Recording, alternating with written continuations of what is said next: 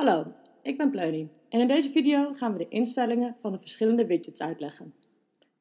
Hiermee kun je als beheerder het social intranet nog nuttiger maken voor je collega's en beter aan laten sluiten bij de organisatiedoelstellingen.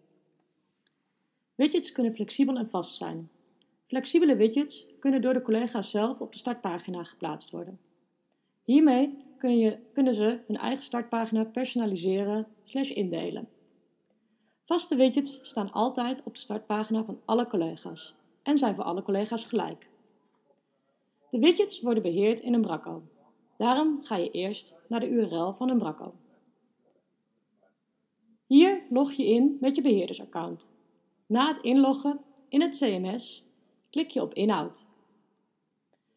Dan klap je Embrace instellingen open, waarna je het kopje widgets ziet. Hier heb je twee opties flexibel en vast. We beginnen bij flexibel. Klik op de drie puntjes en daar zie je alle mogelijke widgets staan die je kunt toevoegen aan het social intranet. De werking van deze verschillende widgets bespreken we in aparte filmpjes. Nu leg ik uit hoe je de widgets verplaatst. Dit gaat als volgt. Klik met de rechtermuisknop op de drie puntjes achter de specifieke widget en kies dan Verplaatsen.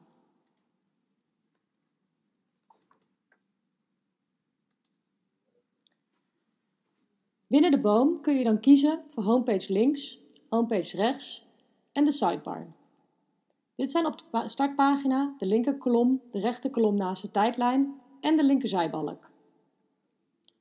Let op, als je een vaste widget naar flexibel verplaatst, verdwijnt deze van de startpagina van je collega's.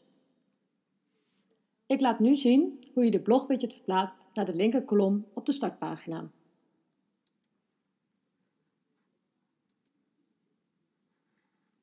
Dit ziet er aan de voorkant als volgt uit. De blogwidget staat nu in de linker kolom. Via profiel kun je naar pagina-indeling bewerken. Bij het indelen van je eigen homepage zie je een aantal widgets zonder zwarte balk. Deze kunnen niet verplaatst worden door de collega's en zijn vastgezet in een Bracco. Hiermee kun je als beheerder dus widgets pushen voor collega's, gebaseerd op de wensen van je organisatie. Heel veel succes met het inrichten van de widgets en tot de volgende keer.